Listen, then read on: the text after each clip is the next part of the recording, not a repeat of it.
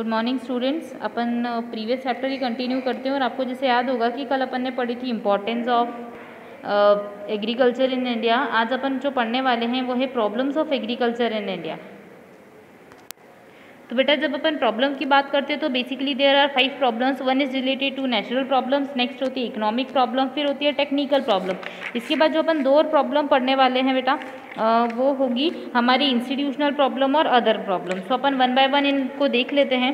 That what is the natural problem तो natural problem जो होती है, वो सिंपल प्रॉब्लम होती है कि हाँ ये इनहेरेंटेंट है. मतलब कि ये तो प्रॉब्लम अराइज होने वाली है बाय नेचर ऑफ़ इकोनॉमी तो फ़र्स्ट इज़ नेचुरल प्रॉब्लम में आता है गैम्बल विथ मानसून मतलब कि हम जो होता है मीन्स हमारा जो एग्रीकल्चर है agriculture of India is still suffering with some uncertainty of monsoon ठीक है? हमारा जो मानसून है, वो बहुत ही अनसर्टेन होता है। मीन्स हमको प्रोडिक्शन के बेसिस पे वर्क करना पड़ता है। तो समटाइम इट में एडवर्स इफ़ेक्ट ऑफ़ वन हमारे नेचुरल जो भी एग्रीकल्चर सेक्टर है, उसको एडवर्स इफ़ेक्ट पहुँचा देता है।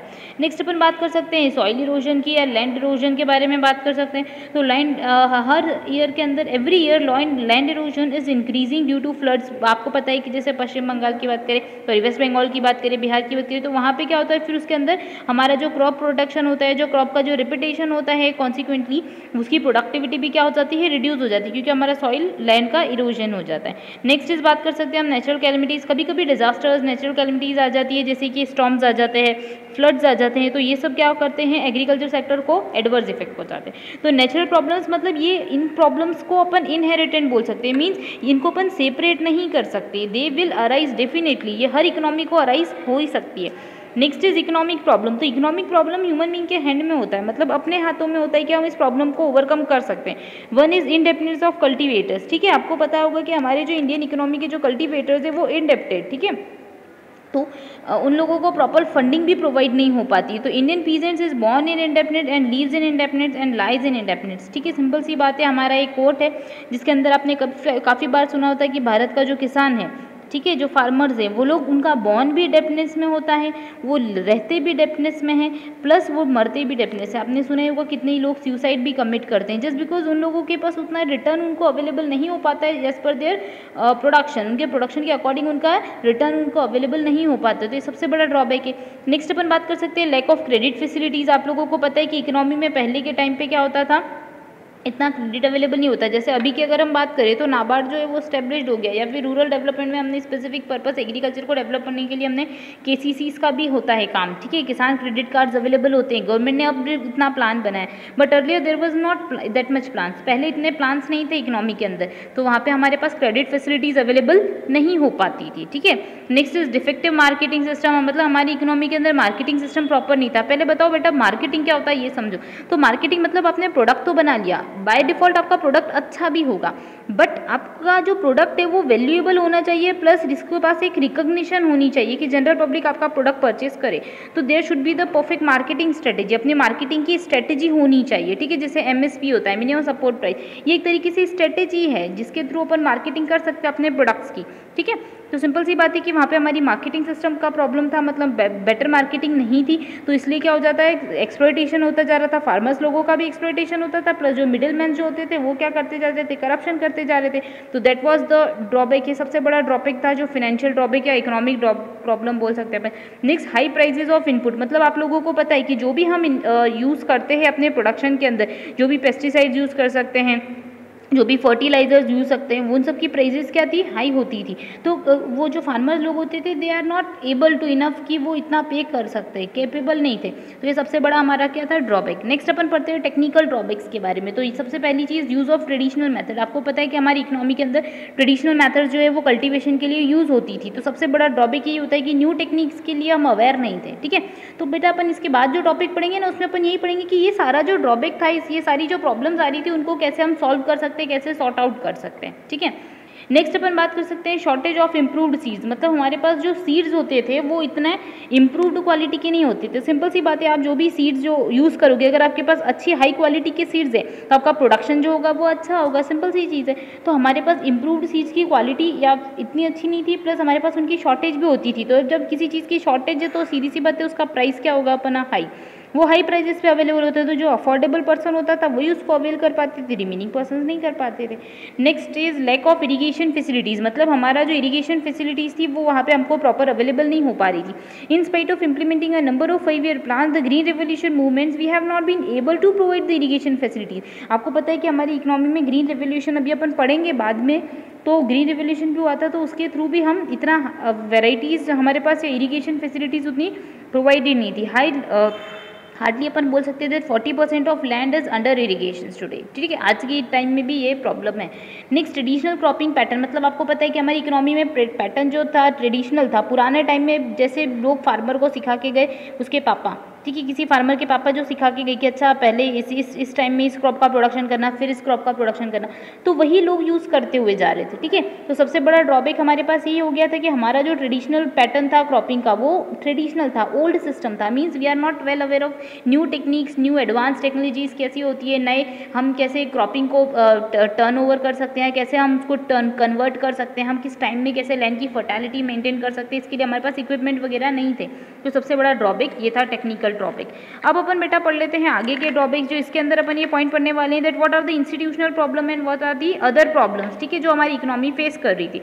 तो फ़र्स्ट इज़ इसके अंदर जो आता है वो ये आता है इंस्टीट्यूशनल प्रॉब्लम और अदर प्रॉब्लम्स तो इंस्टीट्यूशनल प्रॉब्लम में सबसे पहली चीज़ जो है वो डिफेक्टिव टेन्योर सिस्टम ठीक है defective tenure system means the tenure system of Indian agriculture is still defective ठीक है प्रॉपर लैंड रिफॉर्म्स हमारी इकोनॉमी के अंदर इंप्लीमेंट नहीं हो पाया मतलब और जो गवर्नमेंट जो थी उसने भी कोई एडिक्वेट स्टेप्स नहीं ले पाए in interest of farmers farmers के इंटरेस्ट में या फार्मर से फेवर से रिलेटेड कोई लैंड रिफॉर्म्स हमारे पास इतना इफ़ेक्टिव नहीं आ पाए.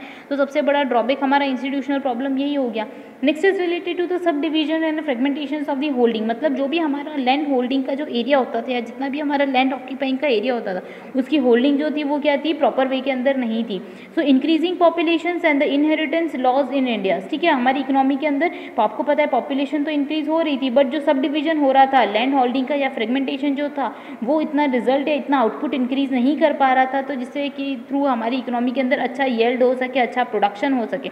तो हमारा जो पर हेक्टर येल्डिंग जो था ना, वो रिड्यूस्ड होती जा रही थी, क्योंकि हमारी इकोनॉमी की पॉपुलेशन तो बढ़ती जा रही थी बट हमारे पास लैंड ऑक्यूपाइंग एरिया तो इतना ही था तो उसकी फर्टैलिटी भी प्रॉपर नहीं हो पा रही थी प्लस हम इतना प्रोडक्शन नहीं कर पा रहे थे कि हम सेल्फ सफिशियंट हो पाए at least next subdivision subdivision हमने पढ़ लिया नेक्स्ट अपन बोल सकते हैं backwardness of the small and marginal farmers हमारे जो फार्मर्स थे, उनका, उनके पास ये बैकवर्डनेस होती रहती थी। Means there is no improvement in the economic condition of the small और मार्जिनल फार्मर जो छोटे छोटे फार्मर्स होते हैं ना, वो लोग का एडवांसमेंट नहीं हो पा रहा था, या फिर वो लोग इतने इंक्रीज नहीं हो पाते, वो इतना इफ़ेक्टिव वर्क नहीं कर पा रहे थे। सबसे बड़ा ड्रॉबैक जो था, वो यही था हमारे पास, ठीक है? तो ये कुछ इंस्टीट्यूशनल प्रॉब्लम्स है, उसके बाद अपन अदर प्रॉब्लम्स की बात करें तो नेक्स्ट नंबर पे आता है अपने पास illiteracy of the cultivators simple सी बात है कि हमारे जो फार्मर्स थे, वो इतने कल्टीवेटर जो थे, जितने भी, वो सब इलिटरेट थे। तो उनको न्यू टेक्निक्स के बारे में नॉलेज नहीं था प्लस उन लोगों को अपन सिंपल सा बोल सकते कि अगर अपन वर्कशॉप ऑर्गेनाइज करके उनको नॉलेज प्रोवाइड कर सकते हैं तो वो चीज़ अवेलेबल नहीं थी पुराने टाइम के अंदर। तो सबसे बड़ा ड्रॉबैक का रीज़न यही था कि there the farmers are illiterate तो उनको लैंड के बारे में जो ट्रेडिशनल कस्टम्स या ट्रेडिशनल वे में जो वर्किंग कर रहे थे, वही फॉलो कर रहे थे। तो ये सबसे बड़ा प्रॉब्लम था कि न्यू पैटर्न को एक्सेप्ट नहीं कर पाते थे।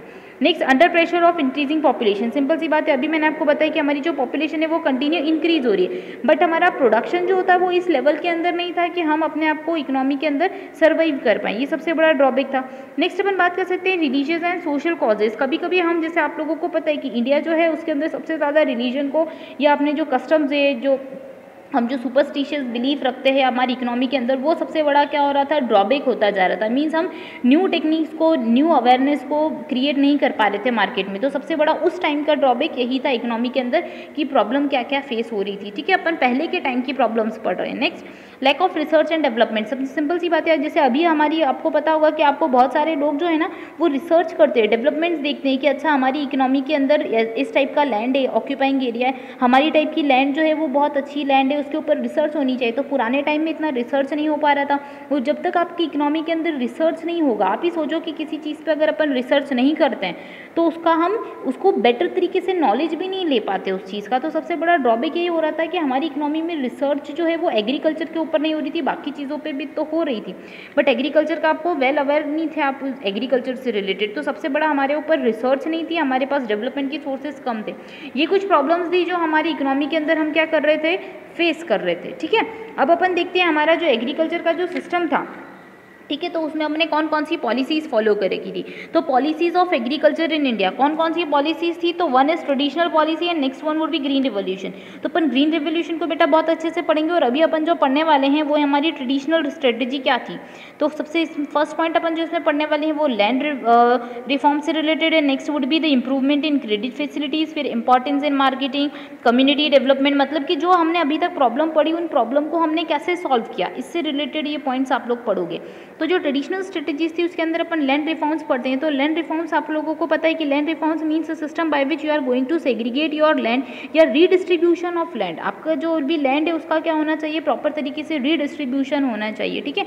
मीन्स आपको पता है, पहले अपन ने पढ़ाई था कि ज़मींदारी सिस्टम होता है जिसके अंदर एक पर्टिकुलर लैंड ओनर होता था, फिर महलवारी सिस्टम होता था, और ज़मींदारी सिस्टम में बहुत एक्सप्लोइटेशन होता रहता था फार्मर का। तो हमको क्या करना है? प्रॉपर सब डिवीज़न करना है, ठीक है? सीलिंग करनी है होल्डिंग के ऊपर। तो ये एक नई स्ट्रेटेजी गवर्नमेंट ने डिसाइड की ट्रेडिशनल स्ट्रेटेजी जिसके अंदर उन्होंने लैंड को सिंपल तरीके से क्या करना स्टार्ट कर दिया रीडिस्ट्रीब्यूट या ओनरशिप जो है वो लैंड की रीडिस्ट्रीब्यूट करना स्टार्ट कर दी। तो इससे हमको बेनिफिट मिला। Next improvement in credit facilities जैसे हम लोगों को पता है कि हमारे फार्मर्स के पास प्रॉपर क्रेडिट फैसिलिटीज़ अवेलेबल नहीं थी तो हमने उनको इंप्रूव्ड क्रेडिट फैसिलिटीज़ दी। आपको लोगों को पता है कि एक बैंक होता है जिसका नाम है नाबार्ड, ठीक है? तो ये एग्रीकल्चर डेवलपमेंट के लिए ही होता है। एग्रीकल्चर पर्पज़ को या एग्रीकल्चर सेक्टर को डेवलपमेंट करने के लिए होता है। जैसे नाबार्ड का मैं आपको फुल फॉर्म बता देती हूँ। National bank for agriculture and rural development यहाँ पे जो बैंक जो है इस्टेब्लिश होता है, इसका मेन ऑब्जेक्टिव होता है क्रेडिट फैसिलिटीज़ टू फार्मर को प्रोवाइड करना। ठीक है? तो यहाँ से फार्मर्स की एक प्रॉब्लम सॉल्व हुई कि अच्छा चलो उनको फंडिंग तो अवेलेबल होने लग गई। अब अपन यही रीजंस पढ़ रहे हैं कि कैसे हम हमारे फार्मर्स को इंक्रीज कर सकते हैं, कैसे उनकी प्रॉब्लम्स को सॉल्व कर सकते हैं। Next importance in marketing simple सी बात है बेटा मार्केटिंग मतलब क्या होता है? तो मार्केटिंग मतलब आप किसी भी गुड्स का प्रोडक्शन तो कर लोगे क्रिएट तो कर लोगे but your product should be well enough कि वो मार्केट में इजीली सेल हो जाए। इसी को अपन बोलते हैं मार्केटिंग तो for the purpose of marketing government ने क्या? क्या किया एमएसपी लगाना स्टार्ट कर दिया। मतलब मिनिमम सपोर्ट प्राइस जो है वो लगाना स्टार्ट कर दिया। ठीक है, इससे क्या होता है? इकोनॉमी के अंदर हमने देखा कि जैसे हमने एमएसपी फिक्स कर दिया तो इससे क्या हो गया? फार्मर को बेनिफिट मिलने लगे। मतलब उनको अश्योरेंस होने लगी कि एटलीस्ट हमारा प्राइस जो है गुड्स का, वो कम से कम इस प्रोडक्ट इस प्रोडक्ट का एक पर्टिकुलर प्राइस तो हमको मिलने वाला है। नेक्स्ट अपन बात कर सकते हैं कि हमने जो फार्मर्स के लिए जो काम किया था वो ये कि हम नॉट जो इकोनॉमी के अंदर अपन ने डिसाइड किया कि हमको ने इंश्योरेंस प्रोवाइड किया। जिस लाइक हमने जो भी प्रोडक्शन कर रखा है, कभी अगर मान लो किसी फार्मर ने कल्टिवेशन किया किसी गुड्स का प्रोडक्शन किया। अब प्रोडक्शन तो उसका प्रॉपर नहीं हो पाया या फिर कोई अगर डैमेज हो जाता है तो गवर्नमेंट ने क्या स्कीम स्टार्ट कर दी? उन्होंने इंश्योर करना स्टार्ट कर दिया कि okay whatever would be your production जो भी आपका प्रोडक्शन होगा, हम उसका क्या प्रोवाइड करने वाले हैं? इंश्योरेंस प्रोवाइड करने वाले ठीक है? नेक्स्ट नंबर पर अपन बात कर सकते हैं कि कम्युनिटी डेवलपमेंट प्रोग्राम गवर्नमेंट ने कम्युनिटी डेवलपमेंट प्रोग्राम्स करे, जिसके थ्रू क्या हुआ? गवर्नमेंट को लोकल लेवल पर उन्होंने स्टार्ट किया। सेकेंड अक्टूबर 1952 को एक स्कीम लॉन्च हुई, जिसके थ्रू अपन ने क्या किया? लोकल लोकल लेवल पे उनको रिसोर्सेज प्रोवाइड करे प्लस लोगों को या लोगों के बीच में अवेयरनेस क्रिएट करी। ठीक है नेक्स्ट नंबर पे अपन बात कर सकते हैं यूजेस ऑफ़ ट्रेडिशनल सीड्स जो हमारे ट्रेडिशनल सीड्स हो रहे थे, उनका प्रॉपर तरीके से हमने यूज़ करना बताया। That the use of traditional seeds for the agricultural development traditional seeds were use the productivity of such seeds were very low पर ये हमारे लिए एक तरीके से ड्रॉबैक का मतलब ये नुकसान की बात है हमारे लिए कि हम ट्रेडिशनल सीड्स का जो यूज़ करे थे, वो प्रॉपर नहीं थे। नेक्स्ट हम बात कर सकते हैं लिमिटेड इरीगेशन मतलब उन्होंने एक लिमिटेड एरिया के अंदर हमको इरीगेशन